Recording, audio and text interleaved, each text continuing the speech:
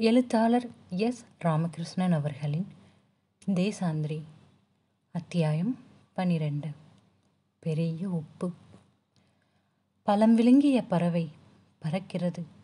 ஒரு மரத்தை சுமந்து கொண்டு குகை மா புகழேந்தி. ஆறு ஆண்டுகளுக்கு முன்பு குஜராத்தின் அகமதாபாத்தில் உள்ள சபர்மதி ஆசிரமத்துக்கு போயிருந்தேன். காந்திஜி இந்திய மனதை புரிந்து கொண்ட அற்புத மனிதர்.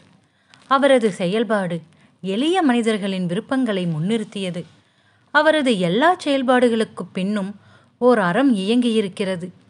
காந்திஜியை அவரது அரசியல் செயல்பாடுகளை மட்டுமே வைத்து புரிந்து கொள்ள இயலாது. சுதந்திர போராட்டம் போன்ற தீவிர விடுதலை இயக்கத்துக்குள் இவர் வகுத்த போராட்ட முறைகளும் அந்த முறைகளிலிருந்து அடித்தட்டு மக்களின் மீதான விருப்பமும் இன்றும் வியக்கத்தக்கதாக இருக்கின்றன. குறிப்பாக உப்பு சத்தியாகிரகம். உப்பை ஒரு ஆயுதமாக்கிய காந்தியின் போராட்டம் வெகு தனித்துவமானது. குஜராத்தின் கடற்கரை பகுதியான தண்டி அகமதாபாத்திலிருந்து இருநூற்றி நாற்பது கிலோமீட்டர் தூரத்தில் இருக்கிறது. காரில் செல்லும்போது கடந்த காலத்தின் மயக்கம் மனதில் தோன்றிக்கொண்டே இருக்கிறது. இந்த சாலைகள் வழியாகத்தான் இருபத்தி மூன்று நாட்கள் காந்திஜி நடந்து சென்றிருக்கிறார். ஒவ்வொரு ஊரிலும் சொற்பொழிவாற்றியிருக்கிறார். சாலைகள் இணைக்காத கிராமங்களை கூட தனது எளிய சொற்களின் வழியாக இணைத்திருக்கிறார். ஒரு மாபெரும் இயக்கம். நிசப்தமான தனது காலடிச் சுவடுகளை வழியெங்கும் விட்டுச் சென்றிருக்கிறது. தண்டி கடற்கரையில் காந்திஜி உப்பு காய்ச்சிய தன் நினைவு ஸ்தூபி உள்ளது. சிறிய கடற்கரை கிராமத்தில் அந்த சம்பவத்தின் நினைவை பெரும்பாலும் மறந்து போயிருக்கிறார்கள். வருடத்துக்கு ஒரு முறையும் வெளிநாட்டுக்காரர்கள் வந்து பார்க்கையிலும் மட்டுமே அது நினைவுபடுத்தப்படுகிறது.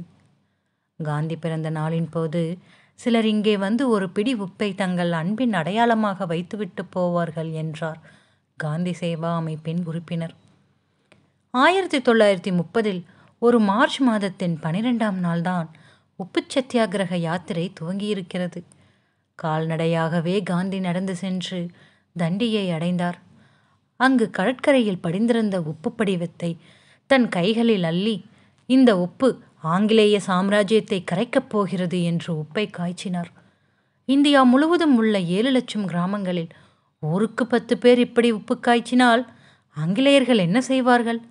என்று அவரது கூக்குரல் அன்று வெள்ளைக்காரர்களை அச்சப்படுத்தியது. அவரை கைது செய்து சிறையில் அடைத்தது. இன்றைக்கும் இந்திய சுதந்திரத்துக்கு ஒரு மௌன சாட்சி உப்பு. உப்பு வெறும் உணவுப் பொருள் அல்ல. அது ஒரு சரித்திரம். அது ஒரு காலச்சாட்சி உப்பின் கதை மனிதன் நாகரீகமான கதை. உப்புக்கு விதிக்கப்பட்ட வரி பிரெஞ்சு புரட்சிக்கு முக்கிய காரணமாக இருந்தது. உப்பை வெள்ளை தங்கம் என்றார்கள் சீனர்கள்.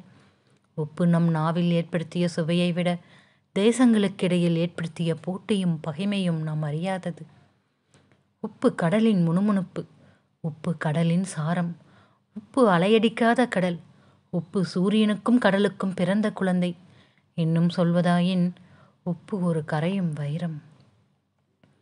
நமது உணவின் சரித்திரத்துக்குள் நம்மை ஆண்டவர்களின் ருசியும் வேட்கையும் அடங்கியிருக்கின்றன. நமது ஆரோக்கிய கேட்டின் முதன்மை வழிகள் நமது உணவு மாற்றத்திலிருந்து தான் துவங்குகின்றன. இன்றும் கூட சிறுநகரங்களில் உள்ள காய்கறி சந்தைகளில் பெண்கள் காய்கறிகள் வாங்கும்போது ஒவ்வொன்றையும் அது எந்த ஊரில் விளைந்தது என்று கேட்டுத்தான் வாங்குகிறார்கள். அதுவும் சில ஊர் கத்திரிக்காய்கள் என்றால் அது எவ்வளவு பிஞ்சாக இருந்தாலும் வாங்க மாட்டார்கள். காரணம் அது கசந்து போயிருக்கக்கூடும் என்ற நம்பிக்கை. இளநீர் விற்பவர் கூட அது எந்த ஊர் இளநீர் என்று சொல்லித்தான் விற்பனை செய்வார். காரணம் மண்தான் ருசியை உண்டாக்குகிறது.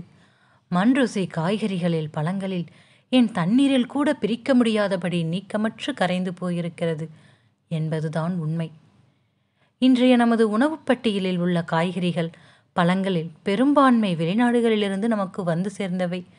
நம் கிராமங்களில் விளையும் கத்திரிக்காய் பாகற்காய் அவரை புடலை பீர்க்கை எல்லாம் நாட்டுக் காய்கறிகள் என்று மலினப்படுத்தப்பட்டுவிட்டன. காய்கறிகளிலே கூட சீமை காய்கறிகளுக்குத்தான் மதிப்பு. தமிழ் குடும்பங்களின் பிரதான உணவாக இன்று மாறிப்போயிருக்கும் உருளைக்கிழங்கை நமது மூதாதையர்கள் அறிந்ததில்லை. அது வெள்ளைக்காரர்கள் நமக்கு அறிமுகம் செய்தது. சிவப்பு மிளகாய் சீமை கொய்யாப்பழம் அன்னாசி காலிஃப்ளவர் முட்டைக்கோஸ் டர்னிப் கேரட் பீட்ரூட் பீன்ஸ் போன்றவை போர்த்துகீசியர்களாலும் பிரிட்டிஷ் பிரெஞ்சுக்காரர்களாலும் நமக்கு அறிமுகம் செய்யப்பட்டவை. இவை இன்று நமது சந்தைகளின் உயர்ந்த ரக காய்கறிகளாகிவிட்டன. சமீபத்தில் நகரின் பிரபலமான உணவுப் பொருள் விற்கும் கடைக்கு போயிருந்தேன். அங்கே வயதான பெண்மணி ஒருவர் பெரிய உப்பு கொடுங்க என்று கேட்டார். விற்பனை பிரதிநிதிகள் எவருக்கும் பெரிய உப்பு என்றால் என்னவென்று தெரியவில்லை. அவர்கள் சால்ட்டா என்று கேட்டார்கள். அந்த பெண்மணி கிராமத்து ஆள் என்பது பேச்சிலேயே தெரிந்தது. அவரும் விடாப்பிடியாக கல்லுப்புமா? என்று புரிய வைக்க பார்த்தார். விற்பனை பிரிவில் உள்ள பெண்கள் குழப்பமடைந்ததோடி கல்லுப்பாம்டி என்று சொல்லிச் சிரித்தனர். இதில் சிரிப்பதற்கு என்ன இருக்கிறது? என்று புரியாமல் அந்த பெண்மணி அதான் சாப்பாட்டு உப்புமா என்று இன்னொரு விளக்கம் கொடுத்தார். அப்படி ஒரு பொருளே இல்லை என்பது போல அவர்கள் வேறு வாடிக்கையாளரை கவனிக்கப் போய்விட்டார்கள். அந்த பெண்மணியே கடைக்குள் சுற்றி இழைந்து பொடித்த உப்பை எடுத்து வந்து இது போல உடைக்காத உப்பு என்றார். அதற்கு அந்த கடைப்பெண் அது கடல்ல தான் இருக்கும் நீங்கள் காய்ச்சி தான் எடுக்கணும் என்று கேலியாக சொல்ல வயதான பெண்மணியின் முகம் சுண்டிப் போனது. விற்பனை பிரிவு பெண்கள் தங்களுக்குள்ளாக சிரித்துக்கொண்டே இருந்தார்கள்.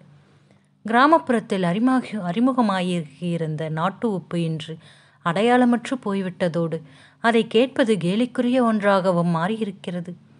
உப்பின் வரலாறு புனிதமானது. உப்பு எப்படி வந்தது என்பதற்கு சீனாவில் ஒரு கதை இருக்கிறது. தேவலோகத்தில் உள்ள நீலப்பறவை ஒன்று ஒரு நாள் பூமியில் தரையிறங்கி வேடிக்கை பார்த்து கொண்டிருந்தது. அந்த பறவையை ஒரு விவசாயி ஒளிந்து நின்று பார்த்தார். விசித்திரமான சிறகுகளும் குரலும் கொண்ட அந்த பறவை பூமியிலிருந்து எதையோ கொத்தி கொத்தி சாப்பிடுவதை பார்த்தார். எப்படியாவது அந்த பறவையை பிடித்துவிட வேண்டும் என்று நினைத்து அதன் அருகில் போவதற்குள் பறவை பறந்து போய்விட்டது. ஆனால் பறவை கொத்திய இடத்தில் சாம்பல் நிறத்தில் சிறு சிறு கட்டிகளாக ஏதோ கிடந்தன. அதை பெரும் புதையலாக நினைத்து எடுத்துக்கொண்டு விவசாயி தன் வீட்டுக்கு வந்து சேர்ந்தார். புதையல் கிடைத்துவிட்டது. என்று அவரது குடும்பமே சந்தோஷமானது.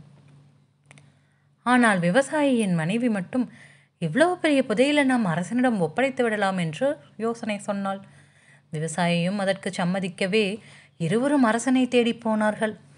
தர்பாரில் இருந்த அரசன் அந்த மண்கட்டி போன்ற பொருளை பார்த்து இதை எதற்காக கொண்டு வந்து தருகிறாய்? என்று கேட்க இது ஒரு புதையல் என்றார் விவசாயி. அரசனுக்கு ஆத்திரமாகி அந்த மண்கட்டியை தூக்கி எறியும்படி சொல்லிவிட்டு விவசாயியின் தலையை துண்டிக்கும்படியாக தண்டனை தந்தான். அரசன் சொன்னபடியே அந்த மண்கட்டியை ஒரு வீரசன் வீரன் தூக்கி எறிகிறான். அதில் கொஞ்சம் தவறி சமைத்து கொண்டிருந்த இறைச்சியில் விழுந்து விடுகிறது. அரசன் அந்த இறைச்சியை ருசித்து பார்த்து இப்படி ஒரு ருசியான உணவை தான் ஒருபோதும் சாப்பிட்டதில்லை என்று புகழ்ந்து சொல்லவே சமையற்காரன் உண்மையை சொல்ல உடனே அரசன் அந்த விவசாயியை விடுவித்து எந்த இடத்தில் இந்த கட்டி கிடைத்தது என்று கேட்டு வீரர்களை அனுப்பி சேகரித்து வரச் செய்கிறான். அப்படி வானுலகில் இருந்து வந்த பறவை காட்டிக் கொடுத்த பொருள்தான் உப்பு என்று சீனக்கதை முடிகிறது. எந்த சீனாவில் உப்பு உலகுக்கு வந்ததற்கான கதை இருக்கிறதோ அங்குதான் உலகில் முதன் முதலாக உப்புக்கு வரி விதிக்கும் முறையும் நடைமுறைக்கு வந்தது. உப்பின் மூலம் அரசனுக்கு வந்த வரியின் அளவு மற்ற விவசாயப் பொருள்களின் வரியை விட அதிகமான வருவாயை ஈட்டித் தந்தது. இதனால் உப்பை கடத்தி விற்கும் நிலையும் ஏற்பட்டது. உப்பு மனிதர்களுக்கு மட்டுமல்ல விலங்குகள் தாவரங்கள் என யாவற்றின் அன்றாடம் பயன்பாட்டிலும் முக்கிய பங்கு வகிக்கிறது. குளிர்பதன பெட்டி வருவதற்கு முந்தைய காலம் வரை உப்புதான் பக்குவப்படுத்தும் தொழிலின் அரசன். உப்பில்லாமல் எதையும் பக்குவப்படுத்தி வைக்க முடியாது. கிரேக்கத்தில் இறந்து போன உடல்களை பதப்படுத்துவதற்கு கூட உப்பை தான் பயன்படுத்தினார்கள். உப்பு விற்பது தமிழகத்தின் பிரதான தொழில்.